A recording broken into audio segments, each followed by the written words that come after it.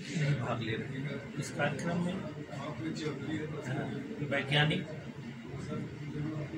विभिन्न विश्वविद्यालयों में पढ़ाने वाले टीचर, छात्र, व इंडस्ट्री के लोग, किसान ये सारे लोग भाग ले रहे हैं। इसका मुख्य ध्येय है कि जो भी विश्व में वर्तमान परिस्थितियों में खाद्यान्न उत्पादकता और उसकी गुणवत्ता को बढ़ाने के लिए शोध हुए हैं। उन समस्त शोधों को एक साथ समाहित करके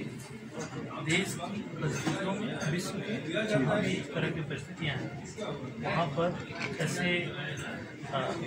उसको अपनाया जा सके जिससे एक किसान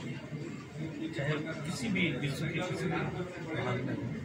उसकी आर्थिक स्थिति में सुधार हो सके जो उत्पाद हो, वो स्वच्छ हो, सुरक्षित हो और उसका अधिक से अधिक मूल्य मिले। यह इसके पीछे एक है। और इसके लिए जो तमाम विधियाँ हैं, तमाम तकनीकियाँ हैं, चाहे वो मशीनीकरण की बात हो, चाहे वो सेकेंडरी एग्रीकल्चर की बात हो, चाहे ऑर्गेनिक एग्रीकल्चर की बात हो, चाहे हमारे संरक्षण पद्धति की बात हो संरक्षित खेती की बात हो, सारी चीज़ों के ऊपर इसमें चर्चा हो रहा है और उससे जो चीज़ें निकल के आएँगी, उसको हम लोग एक प्रोसीडिंग के रूप में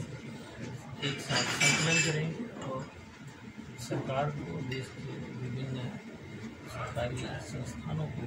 विकसित किया जाएगा, जिससे कि आगे चल के और पॉलिसी के रूप में किसानों के हित में मददगार